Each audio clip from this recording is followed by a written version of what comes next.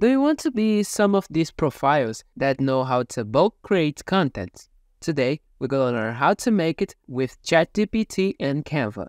Streamline your workflow and save time as AI brilliance meets user-friendly design. Revolutionize your content game and produce high-quality material like never before. Let's create something extraordinary together.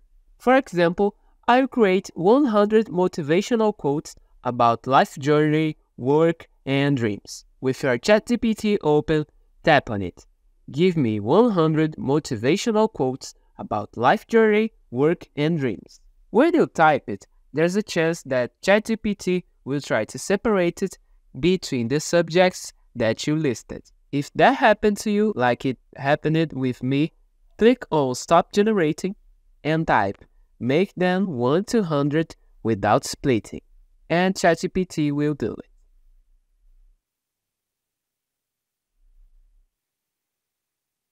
If your text generation suddenly stops, you just have to tap on Continue Generating.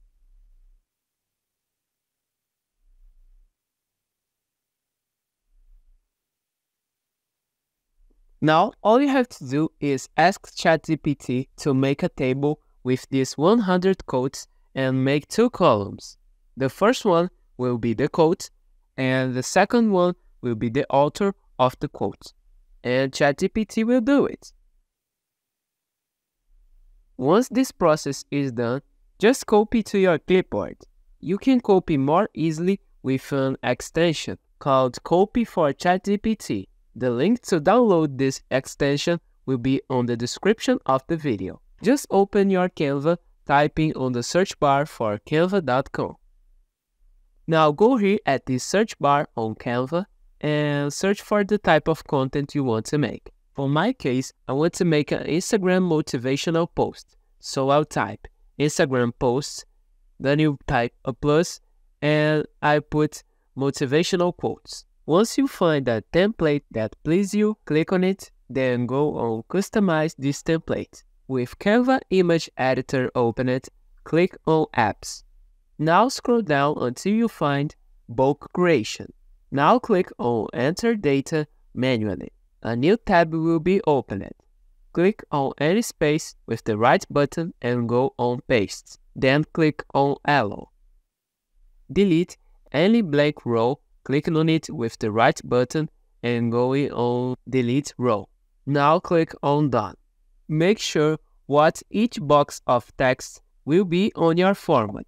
The first in red text will be the name of the author. Right below, in black text, there will be the quote said by the current person.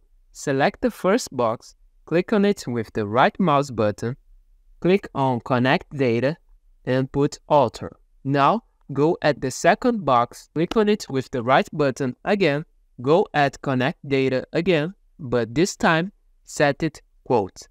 Now click on Continue a series of content will be generated. You can see there are some texts that are with the formattation wrong. I just will be correcting it. Once you're done, you can click in Share. You can connect Canva directly to your Instagram account and schedule your posts from your desktop. If the content helped you, please leave a like on the video. If you had any doubt or want to make a compliment or a suggestion, please comment below. Subscribe to the channel to follow our content. Bye!